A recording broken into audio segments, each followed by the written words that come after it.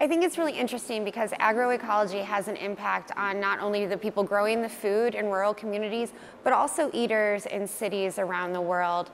Um, there's a growing demand from consumers to have food that's produced more responsibly, that has a story, that they know how it was produced and who produced it, how the land was treated. So I think there's definitely a really strong link between um, rural and urban areas when we're talking about the, the different principles and practices of agroecology.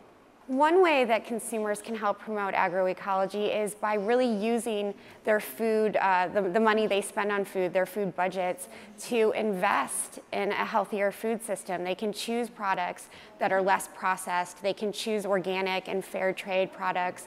They can really um, go to uh, the source as much as possible and shop at farmers markets.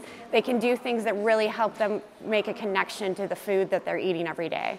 The values of agroecology can be communicated to consumers by creating more transparency in the food system. This idea of true cost accounting in food is becoming more and more popular so that farmers and eaters both recognize the positive and negative benefits of producing and consuming food.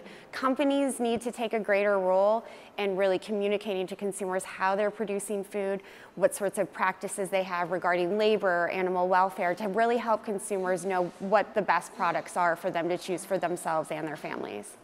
True cost accounting in the food system means that we're accounting for both the, the positive benefits that come from producing food in a sustainable way, um, building up soils, uh, building better equality in the food system among women and youth, as well as accounting for the negative externalities, pollution, um, abuse of, of workers, exploitation of, of animals in factory farms. If we account for the true cost of these things, food that is now kind of cheap or inexpensive in the grocery store would be much more expensive than it is today.